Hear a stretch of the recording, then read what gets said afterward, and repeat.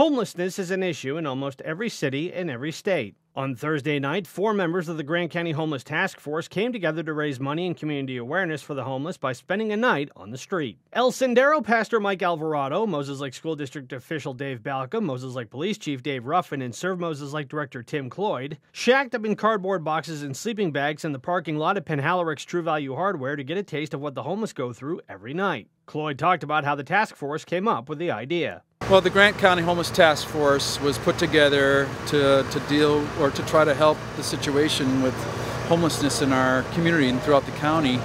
And uh, we, we felt like, okay, we could work towards some, some physical remedies, but it's really education for the community that's needed to help people become aware. There's a lot of myths and fears and misunderstandings, and so we felt like this would be a step for us to bring awareness, to bring to kind of heighten the awareness in the community, and it certainly has done that. And with the, the addition of the warming center starting this year, we thought this is a good timing for us to to bring that to light, uh, to receive donations from the community, to get people connected to it in a in a practical way. While the guys hunkered down for a long night, Cloyd said what they experienced is only a fraction of what homeless people can go through every day. First of all, in doing this, we're not saying that we know what it's like to be homeless. You know, we've we've dressed really warmly. We've got some comforts that way. So it's it's really not us about us saying, "Hey, I know what it's like to be homeless, and I can understand what you've been through." It's more about, okay, we need to take a step and help the community understand that uh, it, it, it takes a whole community to help people that are in this place.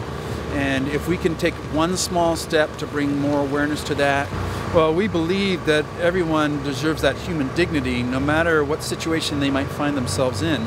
If they are struggling with substance abuses or alcohol, they still need to be loved and cared for and they need those basic elements. And, and we would rather have a person come to the warming center where we can develop a relationship with, hopefully, and when they're ready to make those kinds of changes and decisions, then, then hopefully we can help point them in the right direction.